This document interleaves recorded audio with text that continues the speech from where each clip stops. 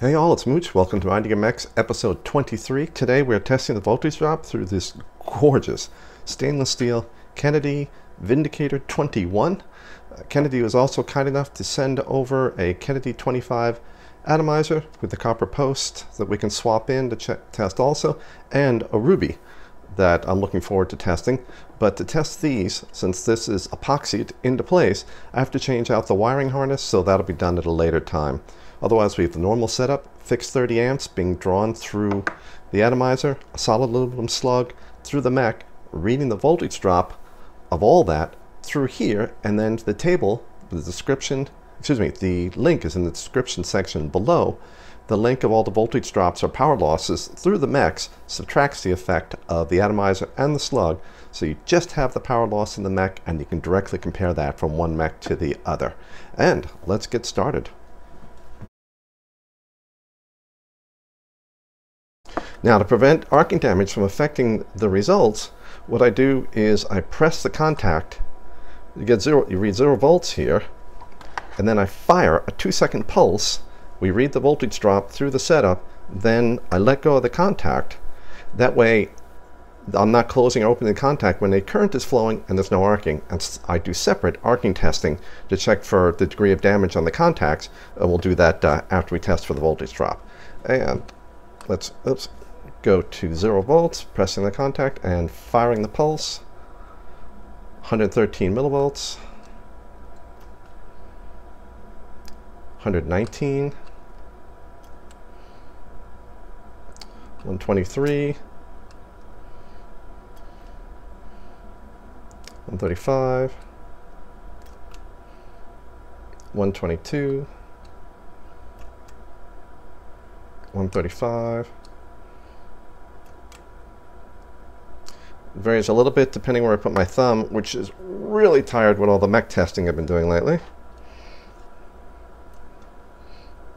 Okay, that's higher up. It did it on a different portion of the button. 150. Oops. This is just across the center. 144. 155. This is a very hard pressing, so I'm going to...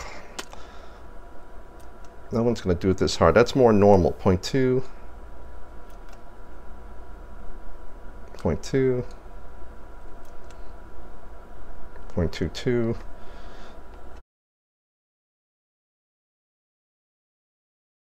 Uh, now this was thoroughly cleaned ahead of time uh, normal, what I normally do, uh, warm soapy water, scrub with a toothbrush, then about a half hour with Nevr-Dull and all the threads and all over the contact, then a warm water rinse, and then a dip in 99% al uh, isopropyl alcohol to displace the water for quick drying, and then uh, just hitting it with a hair dryer to dry it out as quickly as possible, then stored in doubled up Ziploc bags overnight, because I cleaned it yesterday for testing today. So this is about as clean as it can possibly gotten. And it is on here tight. One more test. Then it goes down to 156. Interesting. Okay, so something. 170. Let's try that again. I don't know if I'm getting down high points or just need to go insane with the tightening. Yeah. Something I noticed with the threads here, a lot of other mechs tighten threads and you can go tighter and tighter and tighter and you feel it just, you almost feel like eventually you're going to break the threads. These the threads are so, the beefier threads are very strong and it just goes dunk and it stops.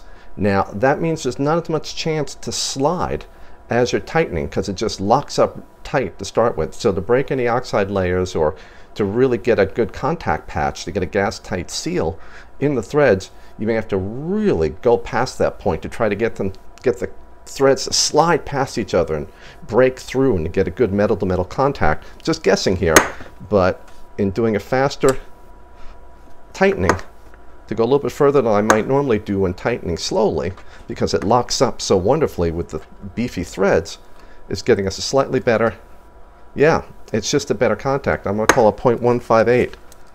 And that is uh, I believe that's the best of the stainless steel mechs, but you'll be able to check the um, table below for it. And when I do the thermal testing, I'll have I'll be able to crunch the numbers for this. And let's do the arcing testing. I'm using a 0.1 ohm load and Samsung 30T.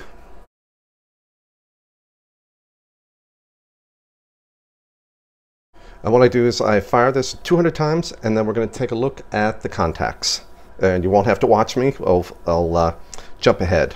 And one, two, three, four, 196, 197, 198, 199, 200. And what we have is a constant contact button here up against the battery, and then it adjusts.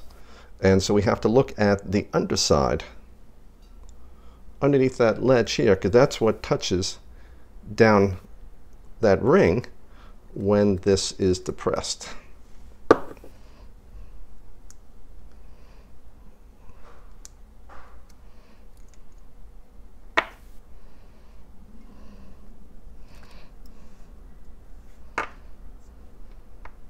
And one thing I love about here, this setup is how incredibly easy, incredibly easy it is to uh, disassemble versus some other mechs where you just go through all kinds of grief and tools and everything else. This just comes right apart like that. Makes for really, really easy maintenance. So that's wonderful to see. And I am going to take a look at the contacts with a magnifier and I'll throw up a macro photograph so you can see a, a nice close-up picture of the uh, two contacting surfaces. and I can see little tiny contact points, but really no appreciable, I mean, it's arcing damage, quote unquote, but they're absolutely tiny and they would come off really quickly with uh, using a Scotch-Brite pad. Uh, my favorite uh, pads, if I can, uh, I should have these out and available if I'm going to talk about them all the time uh, these guys. Absolutely fantastic for taking down um, high points on arcing damage. Okay, that's this point. Now I'll take check the underside around the outside here of the contact.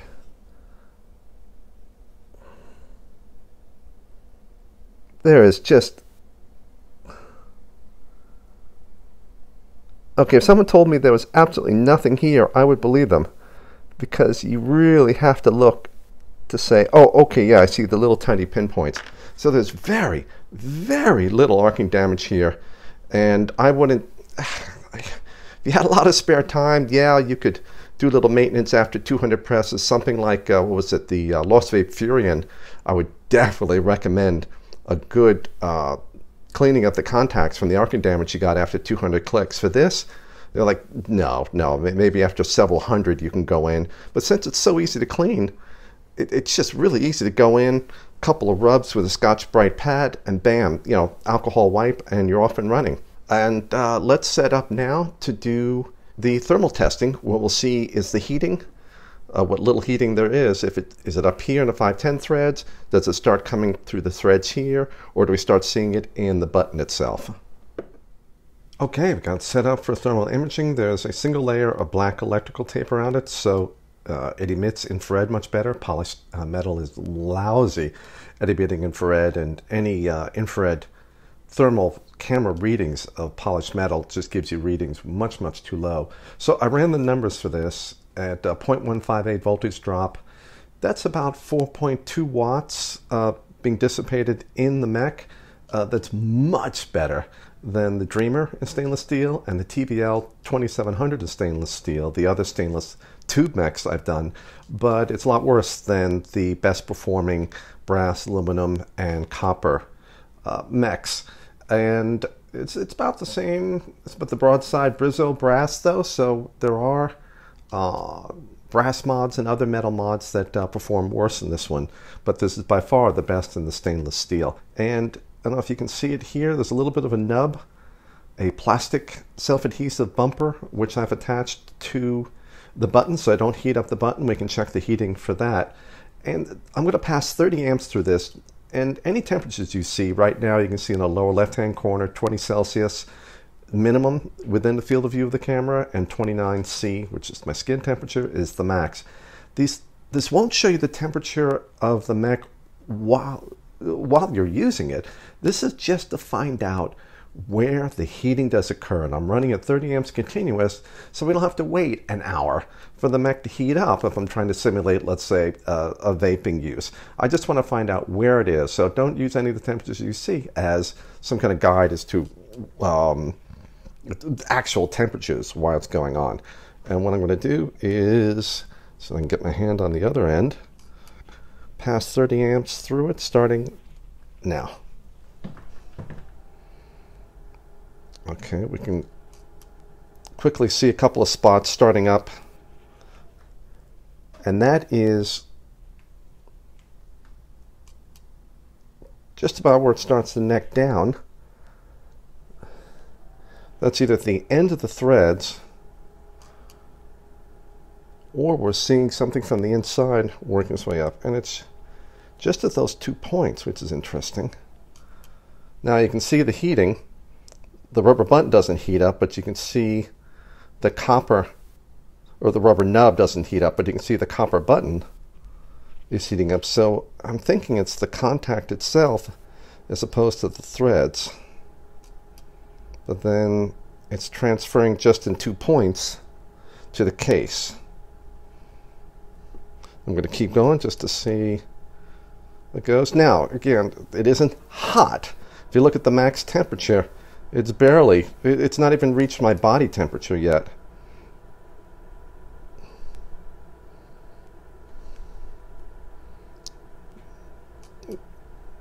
So the mech itself, a little bit of heating in the body of the mech, but only a couple degrees. And that can be just this spreading up. Okay, so it's definitely those two points and I stop the current flow. And you can see the button. I have just a, a, square squared off sort of squared off piece of black electrical tape on the button. That's why it's the irregular shape for the red and the white on there. That's kind of interesting. Now the heat you see as I rotate it the heat's kind of spreading out mostly here on the button as opposed to up here further in the mod itself but when I press, when I start the current flow again, it's either at the end, end of the threads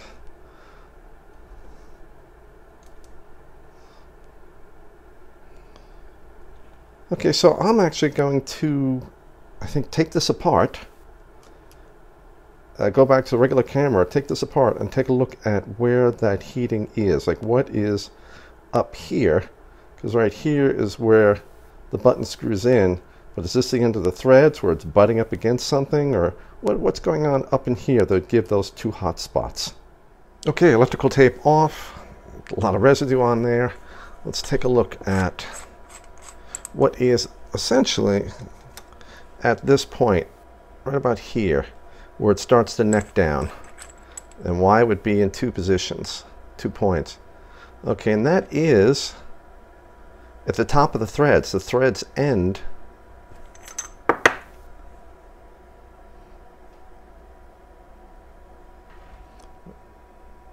yeah, where the threads end, right about here, and that's where I was seeing the two hot spots. But there's nothing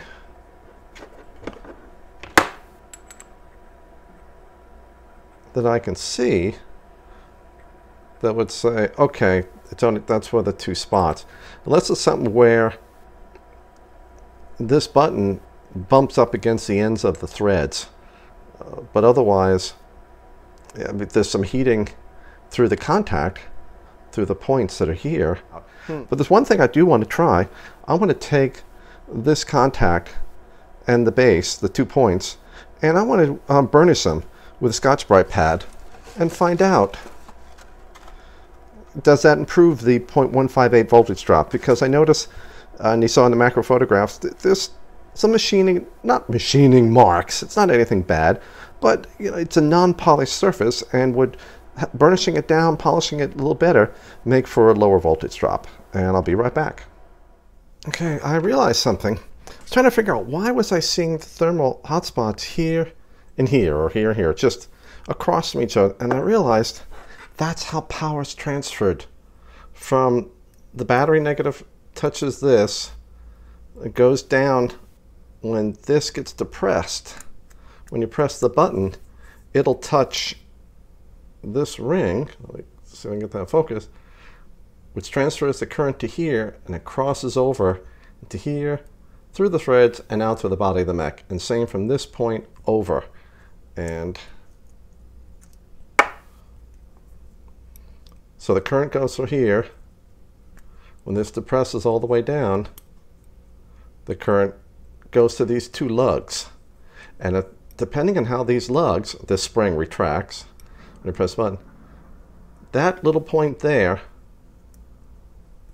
and that little point there transfer, at least for me, the setting here and here.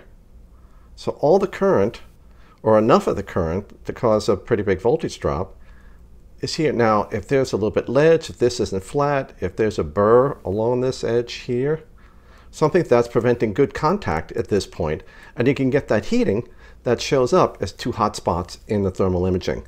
But I burnished the contacts as best I could. I tried burnishing this, but uh, it just, uh, Scotch-Brite pad great on copper and aluminum and brass, but doesn't do much on stainless steel. But we can find out um, if it did anything at all, and if the burnishing did anything. With, uh, and I also burnished underneath here and on top here to try to smooth that out to see if it makes any difference. And we'll get it set up. And I did that, you know, close it and then crack, do that hard close instead of trying to slowly tighten it. And I have to, I'm going to fast forward through this. Sorry for the beeping, but I've got to go to a different mode on this because I'm not doing that continuous thing anymore. And we were at 0.158 before. Let's see what we can get now. Closing the contact, zero volts, firing. 0.13 something. Uh, 0.14 something.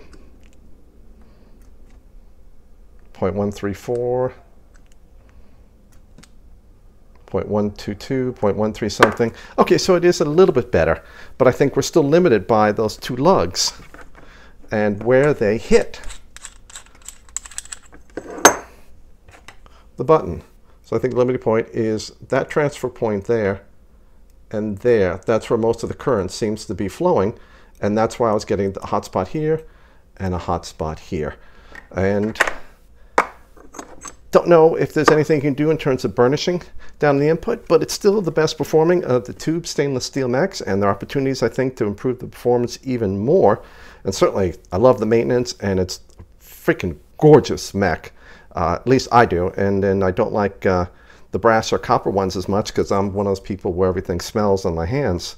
Uh, so it's great to uh, see a good performing uh, stainless steel mech here. That's all for today. Thank you for watching you